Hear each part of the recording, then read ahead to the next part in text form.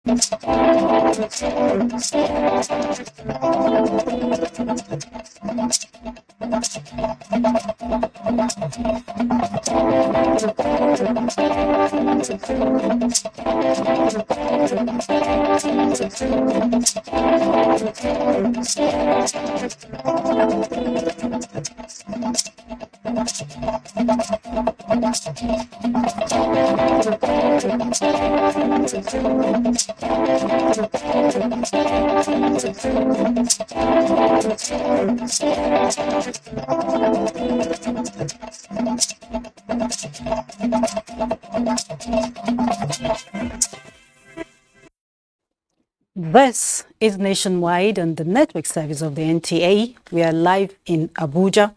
I'm Hawa Salihu Adama. Thanks for joining us. Bilateral relations is our starting point today as Nigeria's First Lady, Aisha Buhari, has promised to continue to give maximum support to her Burundian counterpart, Angeline Ndayishimiye, with regards to the promotion of health and nutrition of women and children in the Republic. The First Lady said this while addressing a high-level forum of women leaders in Africa taking place in Bujumbura, Burundi. State House correspondent Aliyu Kabir completes the report.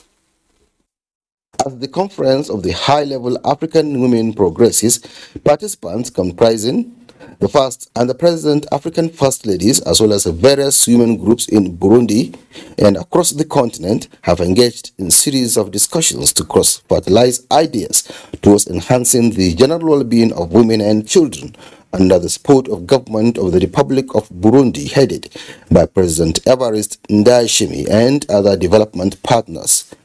Given the theme of the conference, Health and Nutrition of Women and Children, the First Lady of Nigeria commended the resilience of the First Lady of Burundi for her giant strides towards fighting malnutrition, especially in children under the age of five. We engage them to be committed by championing the cause of maternal, newborn child, adolescent health plus nutrition in their respective states. We have given out foodstuff, medications, antenatal kits, free medical missions, skill acquisition programs, to mention a few. This is why I'm happy to be here in Burundi in person to support and encourage my dear sister also my Vice President of MIPREDEN, and to share ideas on how we can continue to impact on the lives of our people. Through meaningful collaborations and networking, we can achieve the goals of eradicating malnutrition in our societies. The First Lady and the President of the Africa First Lady Spirit Mission used the occasion to donate made in Nigeria nutritional products to support the malnourished children in Burundi. The First Lady of Burundi, who acknowledged the contribution of Mrs. Buhari, promised to remain steadfast in her advocacy towards improving maternal health not only in Burundi but across the continent. In Bujumbura, Burundi, Kabir, NTA News. And back home, female miners are making a case for equal rights in the mining industry. President Women in Mining, Janet Adeyemi, presented the women's position at a two-day policy dialogue on mainstreaming gender in the solid minerals sector in Abuja. A research document compiled after inputs from stakeholders held in Ebonyi, Edo, Osun, Plateau, and Taraba State was also presented.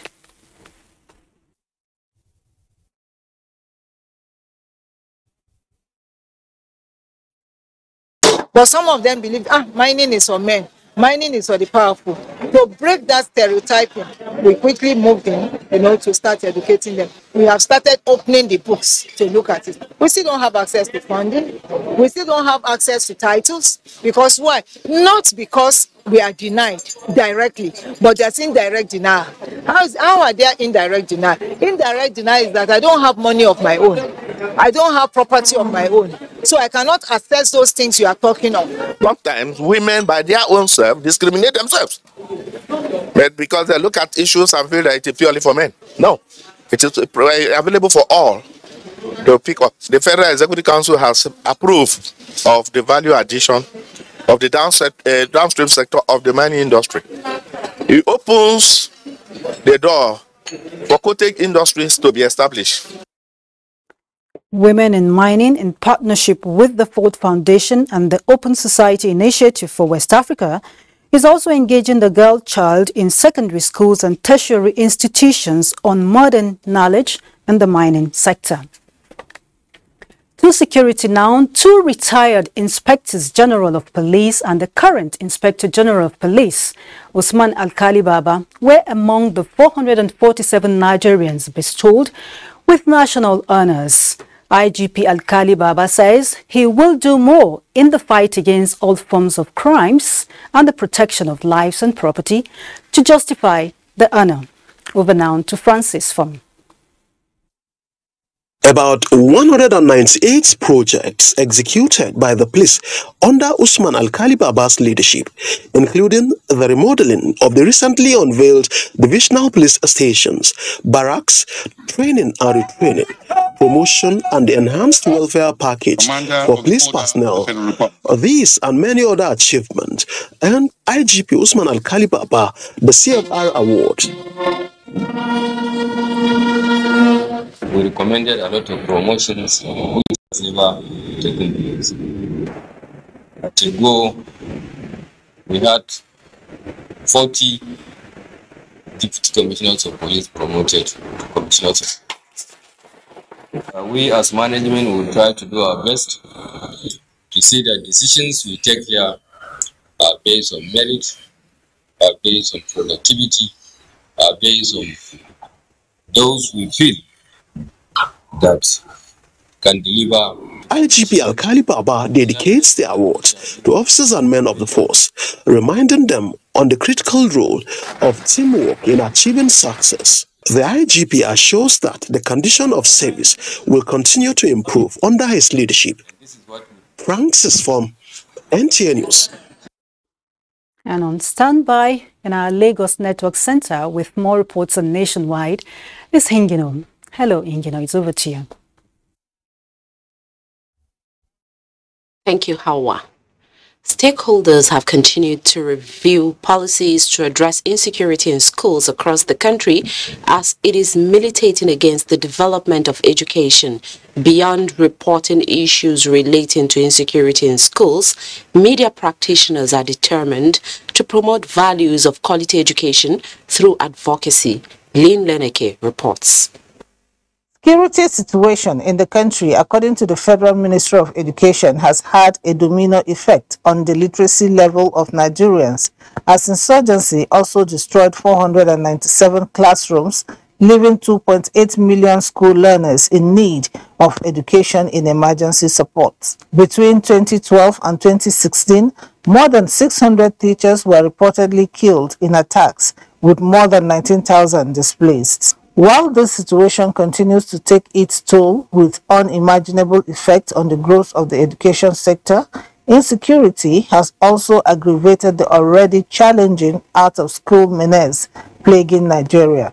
It is time for us to work together as a team. We want to be that channel for that change. We want to be that channel for that collaboration. These key players are discussing how to improve efforts in ensuring safety in schools. Every student, they must be in the National Health Infection, um, Insurance Scheme, such that when they're not in school, they also can, they're still covered. We put our men to all the public schools to take charge of it so that they can get sensitive information. At the government level, series of initiatives have been adopted to ensure the protection within and around schools. The National Council on Education in August 2021 approved the National Policy of Safety and Violence-Free Schools in Nigeria and its implementation guidelines as reference documents for all education stakeholders. The safety goes beyond just the physical safety. What are we doing about drugs, So what are we doing about bullying, cyberbullying, and physical bullying? Stakeholders are, however, suggesting more deliberate efforts in tackling the insecurity situation in schools through partnership, advocacy, and adequate policy implementation. In Lagos, Lynn Lenake, NTA News. The Customs Strike Force Team A is warning importers to embrace genuine and sincere declaration as mechanisms have been mapped out to arrest recalcitrant traders who might want to take advantage of the ember months to make profit through smuggling.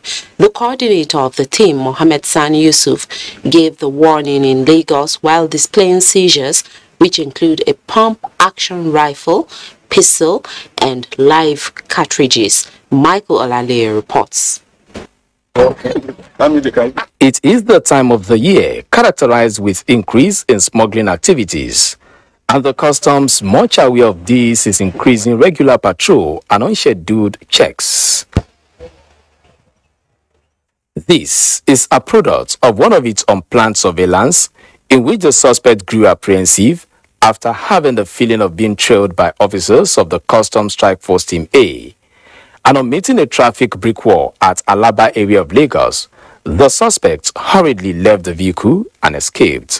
One pump action rifle, one locally made pistol, and 14 cartridges were seen in the car. We find uniforms of yes, this uh, road transport, uh, whatever, employment officers, you can see. This will be handed to our custom uh, custom police unit and investigation will definitely unravel who the people are because we have their ID card. Apart from the vehicle which was impounded, five others were seized by the customs for various offenses, especially for being used as means of conveyance for contrabands and import prohibitions. But this 2014 edition of Maserati car, confiscated along the borderline in Idiroko, has continued to raise more questions than answers. The worry of the Customs Strike Force Team A is why would someone evade duty for such an expensive vehicle? This 20-foot container is a clear case of concealment in which the importer covered up 1,670 cartons of tomato paste with 500 cartons of sardine. Out of the 1,500 bags of foreign rice seized within the period under review, 50 bags were also concealed in the midst of bags of cement. During this period, the strike force team A seized goods with duty paid value of 390 million naira while raising revenue from demand notices by more than 748 million naira. In Lagos, Michael Olaleye, NT News. Zinret is waiting with more reports on Nationwide from Jos. But before that, do not forget to follow this news broadcast live on our website at nta.ng slash live and on our other social media handles displayed on your screen for updates.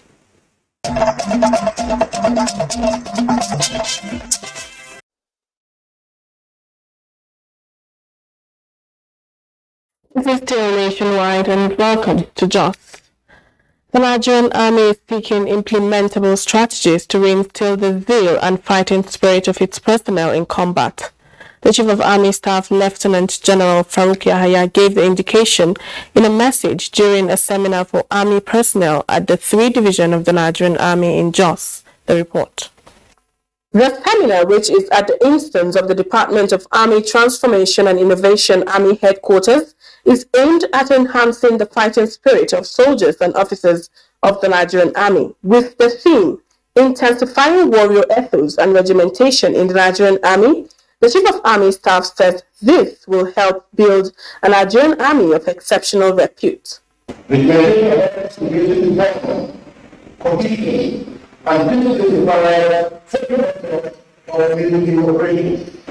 of all intends to rekindle discipline as the core value of Nigerian army and enhance competitiveness in the operations.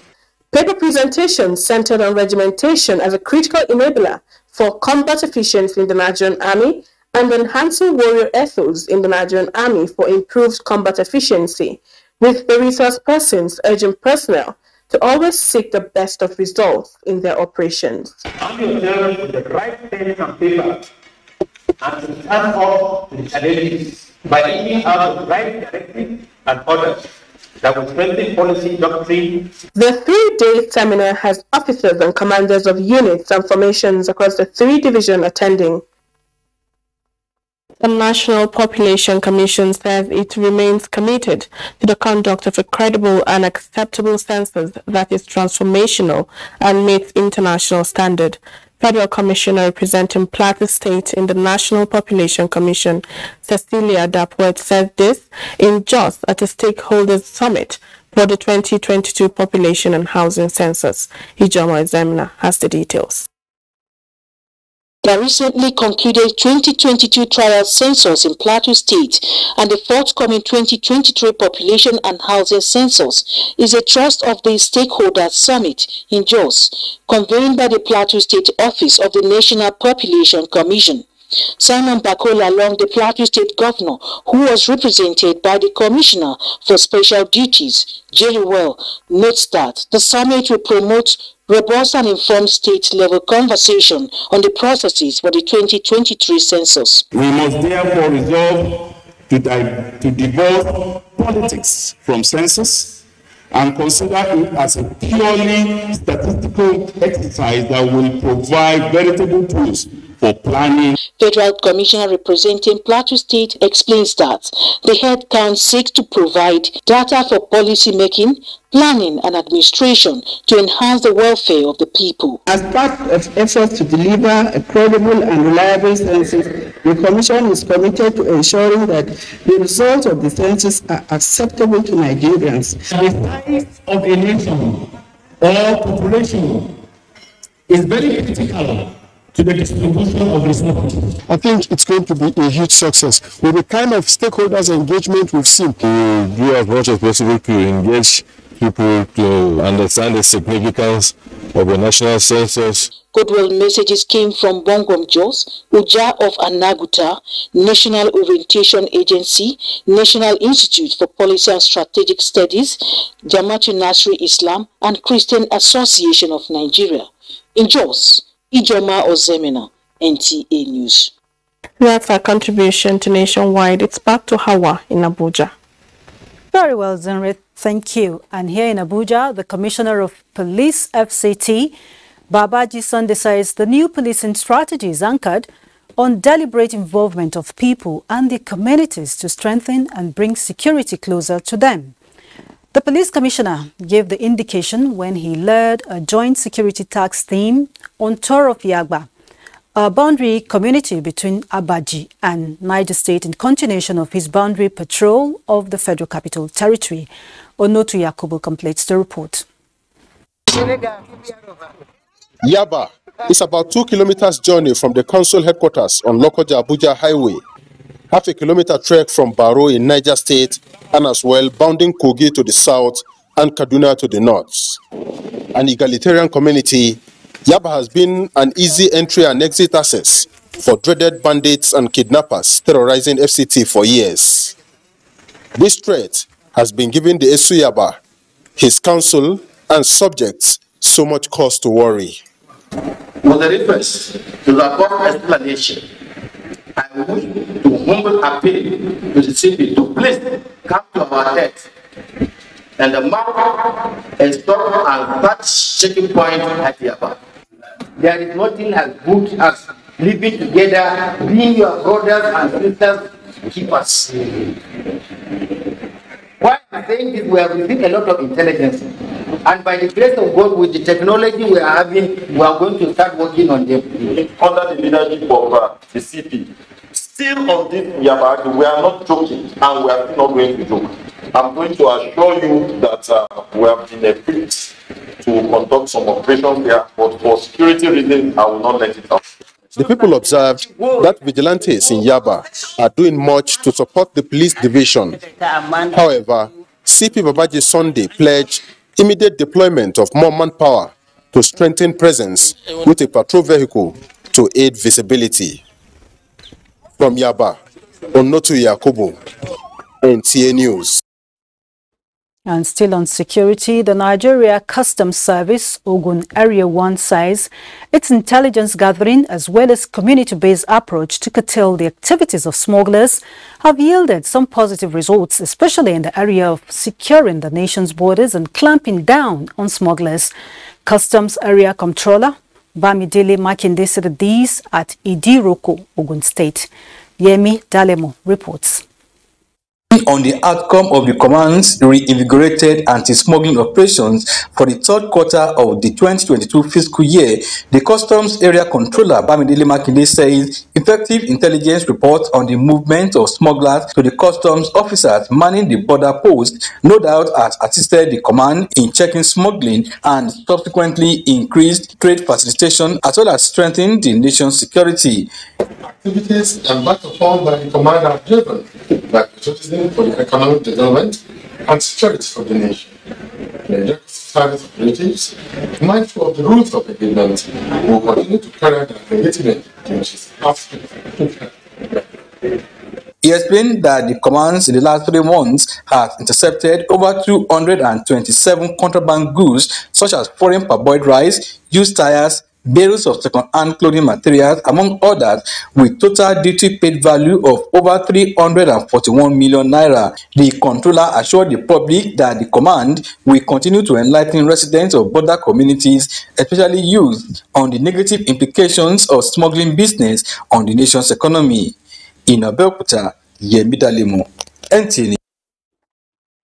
To health now, regular eye checks and education could prevent the World Health Organization's estimated 2 billion vision impairment and blindness around the world. Uche Ugochiku reports that this is the essence of the World Sight Day with Love Your Eyes continuing as the theme from the 2021 campaign. 80% of what we perceive comes through our sense of sight, and the eye, the tool, is often neglected by many for reasons like fund and accessibility. The likes of 38-year-old Solomon risk joining the estimated 0.78% of Nigeria's population with visual impairment and blindness due to lack of checks. I never ever in my life check my eye for anything. However, 18-year-old Rejoice has battled refractive errors, but for her love for her eyes, she is enjoying her photography. Checking of my eyes really helped me the way I view things before. It's not like the way I view now. Vision impairment and blindness affect people of all ages, that's prevalent among persons over 40 years. That is why the 74th World Health Assembly adopted a resolution to assist member states and their partners in their efforts to reduce the burden of eye conditions. Refractive error is high, glaucoma is high, cataract is also there, but thank God for you know the um, people are becoming more aware that when they have cataract, it can actually be resolved by surgery and it doesn't really take much. Again, more needs to be done in the rural areas, you know, because a lot of them infect their eyes because of they don't have a good um, um, system of cleaning themselves up after using the toilet. World Sight Day is observed annually on the second Thursday of October. And a bit of politics as campaigns continue to blossom across party lines ahead of the forthcoming general elections. The Coalition for Good Governance for Tinubu and Shetima is mobilizing votes for the victory of the All Progressives Congress. Abubakar Akwanga reports. It has been few weeks after the lift of ban on campaigns by the nation's electoral body and the ambience is already paying off. Now the Coalition for Good Governance is mobilizing its support groups across the 36 states of the Federation for the actualization of 80% votes target for Tinubu and Shetima. These campaigns we shall pursue relentlessly and tirelessly until the last day of campaigns before the presidential election. The coalition says Tinubu and Shetima have demonstrated excellent leadership qualities that can make Nigeria function better. This program was built to be carried out in all the states, local government areas, hills and valleys, creeks and water sites, and from door to door. The political support group is set to unveil a workable document tagged the Rebirth Manifesto for the socio-economic transformation of the country through Tinubu and Shetima joint ticket.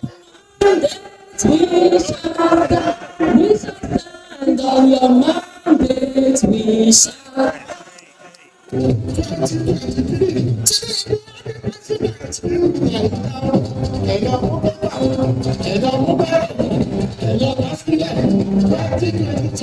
Abuja, Abubakar Akwanga, News. and the need for political gladiators to be proactive in building a healthier political system for the promotion of good governance in Nigeria has been emphasized. This was the submission at the International Valedictory Conference organized in honor of the outgoing governor of Ekiti State, Dr. Kayode Fayemi in Ado-Ekiti. Kola Adeboboye completes the report. The two-day event was to showcase the critical areas Dr. Kayode Fayemi touched, especially in healthcare, education, infrastructure development, women's empowerment and community development, which has propelled Ekiti State to the top echelon of the development matrix at subnational level. Speakers including Governor of Kebbi State, Abubakar Bagudu, and his Borno State counterpart, Professor Babangana Zulum, observed that political gladiators must be proactive and adhere with the responsibilities that accompanied leadership, which Dr. Fayemi has always projected at various capacities. The conference shows that the burden of leadership goes beyond the office of leadership itself. appreciate the importance of connecting with the ordinary person. The panel session also highlighted practical measures that could help in achieving a better nation and how the younger generations must be given opportunities to demonstrate their capacities, integrity, and commitment towards nation building. I had the privilege of standing on the shoulders of giants. And that is why I always try within my own path to give opportunities to young people. Cultural display by Ekiti State Performing Arts climaxed the event in Ado Ekiti. Kola Adebobuyi, NT News. And we are not done with the Southwest as Adebola is on standby with more reports from that zone. Good afternoon to you. Good afternoon, Hawa. Thank you for joining us in Ibadan. The wife of your Oyo State Governor, Tamuna Minini Makinde, has inaugurated boreholes for the people of Southeast local government area of the state. Rafia Animashaun Badmos reports that the governor's wife said this is in fulfillment of the state's promise to residents of the city. Inaugurating the project, the wife of the governor, Mrs. Tamuno Binini Makinde, said this is the fallout of the campaign promises of the present administration to make clean water available for dwellers in the 33 local government in Oyo State. last quarter of the year is always dry. So most times we have problem with um, that, that the ground dries up and water um, becomes a bigger problem towards the last two quarters of the year. So we are saying that we this water we're giving to them, we're telling them, okay, um, don't struggle, um, have life easy and enjoy life. Commissioner for Public Works, Professor Daoud Sangodoyin, joined President of Bode in Makbo to take charge of the project and ensure its sustainability.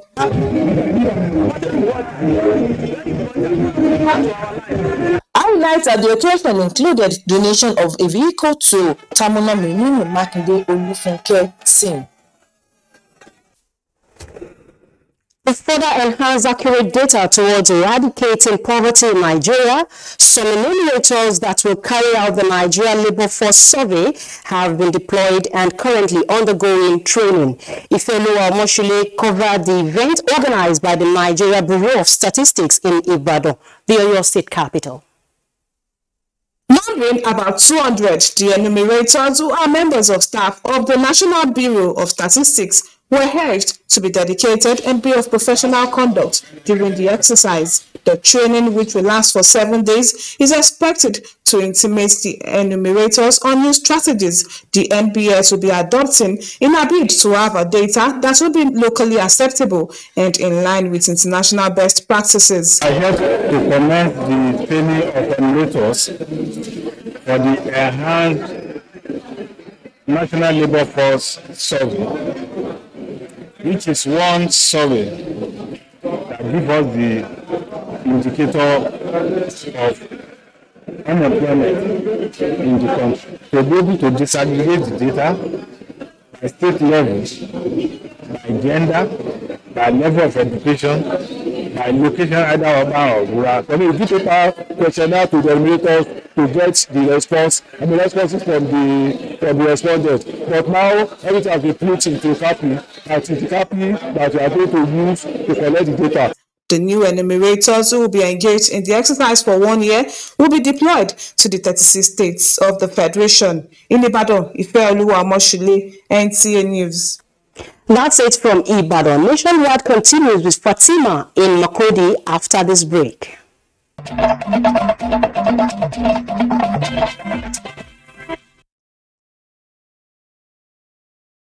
And a warm welcome to Makurdi. The Air Officer Commanding Tactical Air Command Nigerian Air Force Makurdi, Air Vice Marshal Precious Nnamdi, he will continue to prioritize safety of lives and property of Benue people.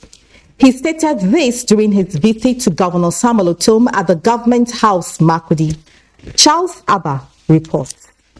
The Air Officer Commanding Tactical Air Command, Nigerian Air Force Makurdi, Air Vice Marshal Precious Nnamdi Amadi, who is on his seventh posting to Benue State, stated that the terrain is not new to him. He pointed out that he would prioritize supporting Benue State to fight insecurity to further enhance the relative peace in the state. I have one belief in me as a, as a military officer. No man should die unjustly. Nobody should be killed for no cause of his own. So we'll do all we can to ensure that within our own confines, within our own limits, to protect lives and properties. The air officer commanding assured cordial relationship with his host community, but appealed to the people to steer clear of encroachment into Nigerian Air Force land. So uh, I put this out to to help us get the CFO so that we can secure the base and uh, live in peace with the community. Governor Samuel Ortom congratulated the air officer commanding for ascending to the position and expressed optimism that being an operational officer with wealth of experience, he would effectively deploy his strategies and manpower to tame the tide of security challenges in the state. Without security for lives and property, there can be no meaningful progress anywhere in all aspects. You can't go to school. Your children can't go to school. You can't effect any development. I am aware of certain projects that were undertook and today they cannot continue because of security challenges. The governor assured the AOC Tactical Air Command of facilitating issuance of certificate of occupancy of its land. Government is ready to provide a COO so that there will be a permanent solution on these matters. He appreciated the Nigerian Air Force for its contribution to the safety of lives and property of Benue people. In Makurdi, Charles Abba, NTA News. And to politics, as political campaigns kick off across the country, the Independent Electoral Commission INEC in Benue State has urged political parties to uphold the guidelines and provision of the Electoral Act to ensure a hitch-free general elections in 2023.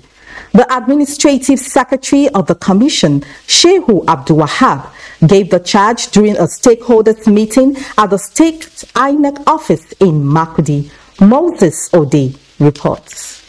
The stakeholders meeting organized by the Independent National Electoral Commission, INEC, Benue State, is to sensitize the officials of various political parties, security agencies, traditional institutions, as well as the general public on the need to engage on issue-based campaign preparatory to the forthcoming general elections. The administrative secretary of the commission in Benue State, Shehu Abdulwahab, assured the political players of the commission's resolve to uphold free, fair, and credible elections and appeal for cooperation from members of the public.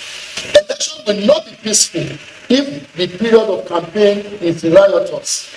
Indeed, for all the nine experience has shown that most of the problems we experience on election day we are carrying over of problem during primaries as well as problem during campaign. Members of some of the political parties in the state assured of their resolve to cooperate with the INEC guidelines as they equally promised to relay the message down to their party candidates and supporters. The Commissioner of Police, Wale Abbas, representatives of other security agencies and the National Orientation Agency commended INEC for the initiative and assured their continuous synergy towards the smooth conduct of the 2023 general elections.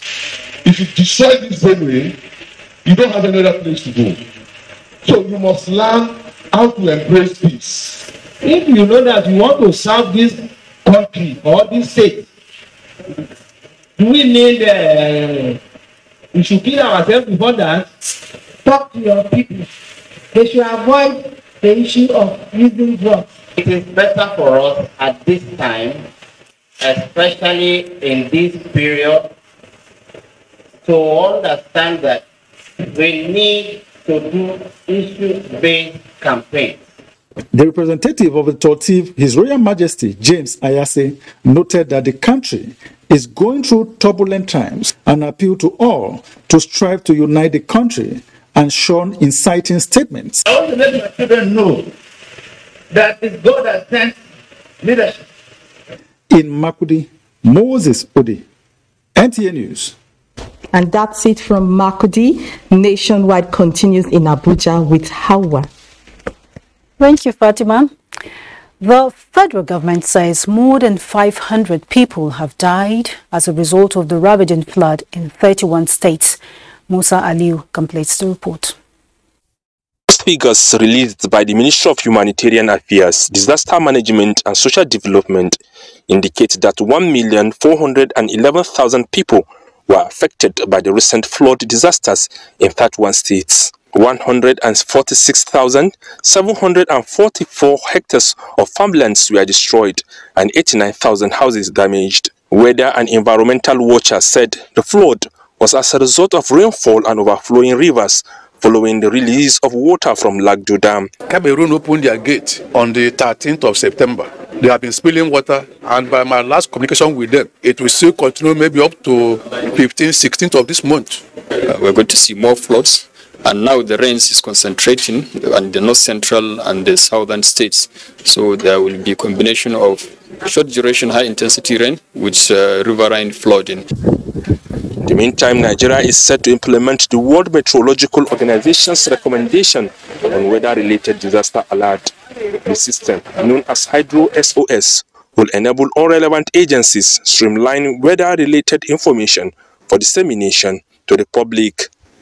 Consequently, the Nigeria Meteorological Agency, Nigeria Hydrological Services have joined forces with the UK Center for Ecological and Hydrology in the implementation of the initiative. Nigeria could be one of the first countries, not just in Africa, but actually in the world, for implementing this new Hydro SOS system. And the World Meteorological Organization have the aim to implement this system in all member states around the world. Through this Hydro SOS, we are trying to make sure that NIMET and NIHSA work closer together so that whatever they take out there to the public is more comprehensive, is easy to understand, and easy to implement. Experts are now brainstorming on how effective the SOS will impact on weather-related disaster mitigation in the country. Musa Aliyu, NTA News. And a report just in says Member states of the Gulf of Guinea Commission have been tasked to urgently galvanize action against the danger and threat affecting maritime security in the Gulf of Guinea region. President Muhammadu Buhari threw the challenge at a virtual summit of the heads of states and government of the Gulf of Guinea. State House correspondent Adamu Sambo is putting together that report and will be brought to you later. A coalition of civil society organizations has expressed concern over some foreign nationals engaged in the direct purchase of agricultural produce at the farm gate. At a meeting in Abuja, the convener of the coalition, Emmanuel Onwudiwe, observed that this action is against the federal government's directive of March 21-2022 that banned foreigners from engaging directly in the purchase and slaughter of donkeys. The Economic platform that is capable of injecting 60 billion naira into the Nigerian economy by way of direct investment and is also capable of getting over 250,000 Nigerians direct and indirect employment. The economic potential of the sector can only be fully harnessed if the sector is well regulated to serve Nigeria's best interest. The group urged the Suleiman Audu-led committee to redouble efforts in enforcing the presidential directive and sanction any government official aiding foreigners to carry out this unpatriotic act. Knowledge and experiences acquired over the years have been described as relevant to the professional development of a working class individual. A consummate professional, engineer, public servant, and the first Director General of the Nigerian Television Authority, Vincent Maduka, has put his career experiences that span several decades to print in the memoirs titled Real Life My Years of Managing Public Television for upcoming workers to draw lessons from.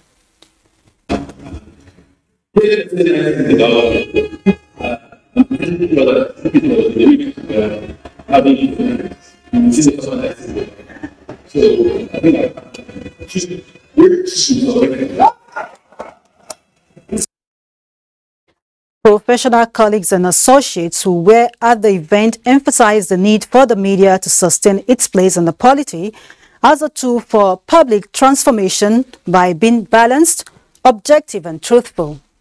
His own inner strength, inner wisdom to develop concepts that we people have become landmarks in NGO. Um, I like to start off with notes that this is a lesson to work under my guidance.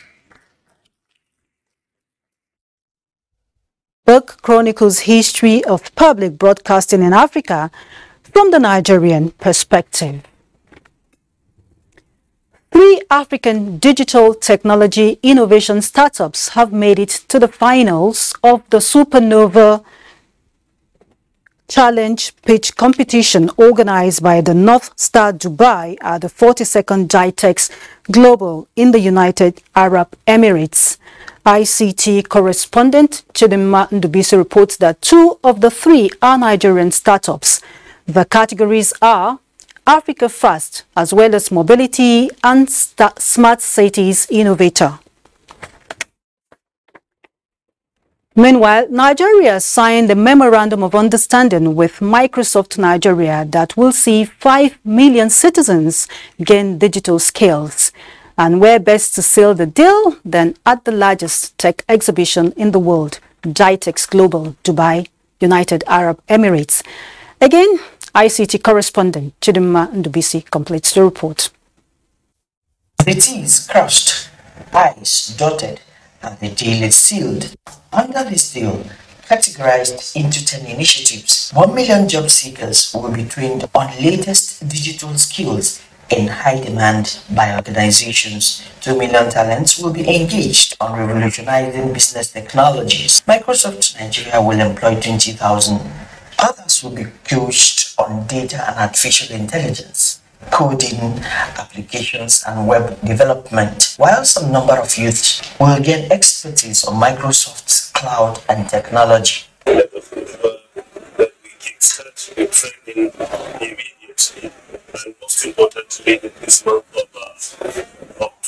It is an agreement guaranteed to drive bottom line business value, accelerate technological innovations, and create more jobs. By this, Nigeria is set to be positioned in meeting the digital technological skills gap already predicted for 2030. From Dubai, Chidima Ndubisi, NTA News. Micro, small and medium enterprises in Nigeria are getting a lot more attention now with increased monitoring, nurturing and coordination from a joint public-private sector initiative. The initiative is a partnership comprising Sweden, the Commonwealth and other business membership organizations. Bossadale Abel completes the report.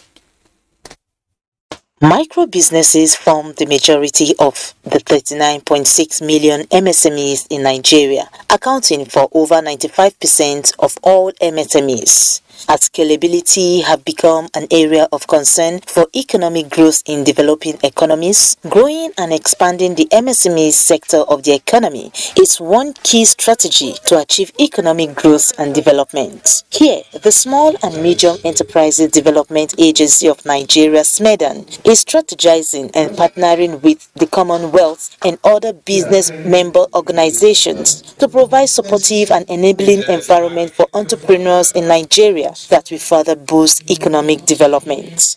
We discovered there are about 39.6 million MSMEs in Nigeria. So small businesses are critical in whatever we're doing. And for us to support them, we need to consciously and deliberately increase these numbers to be able to achieve uh, our vision of creating more jobs for people. The Commonwealth says the focus of the partnership will be on e-commerce and digital trade, mostly capturing women-owned businesses. The farmers on the field, the small businesses on the field can take advantage of the opportunities of e-commerce to sell their product not only within Nigeria, but hopefully outside of the nation. As stakeholders in Nigeria are accelerating economic diversification initiatives through MSMEs, these partnerships seem likely to drive development and growth in the economy. In Abuja, Boss Sede Ebo, NTA News. We now take you to our earlier story on President Buhari's charge to member states of the Gulf of Guinea on addressing insecurity in the region. The Gulf of Guinea Commission has, amongst other objectives, creating conditions of mutual confidence towards defending the common interests of member states as well as promoting peace and socio-economic development on the basis of dialogue, consensus, ties of friendship, solidarity and fraternity.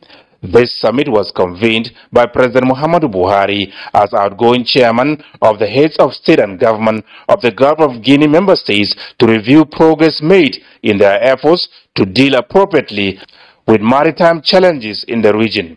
Nigeria considers the effective functioning of the Gulf of Guinea Commission as strategic to the collective security interests in the Gulf region particularly in addressing issues such as piracy, proliferation of small arms and light weapons, protection of marine resources, as well as irregular migration to the region. The federal government, the president said, has championed several efforts towards fighting maritime insecurity in the Gulf of Guinea. Nigeria has continued to deploy significant resources towards tackling piracy in the Gulf of Guinea. Through the Deep Blue Project in June 2021, the government of Nigeria unveiled 195 million United States dollars worth of boats, vehicles, and aircraft to spearhead the country's fight against piracy in the Gulf of Guinea. President Buhari, however, identified the COVID-19 pandemic and its attendant negative impact on the activities of the Gulf of Guinea Commission, as well as inadequate cash flow as major challenges that confronted efforts at fighting maritime insecurity in 2020 and early 2021. What we need now is to work more than ever towards the revitalization of the organization with a view to synergizing for more effective results towards fighting maritime insecurity in the Gulf of Guinea Commission region. The president told participants that the summit will be the last he will be attending as head of state, but made a case for member states to remit their outstanding annual contributions to the Gulf of Guinea Commission Secretariat to assist the Commission in fulfilling its mandate. President Nana Akufo-Addo of the Republic of Ghana emerged the new chairman, heads of state and government of the Gulf of Guinea region at the end of the summit. From the State House, Adamu Sambu, NTA News. And that's nationwide today. We thank you for watching. But remember, you can always partner with us in our campaign against rape and rapists. I'm Hawa Salihu Adama. Good evening.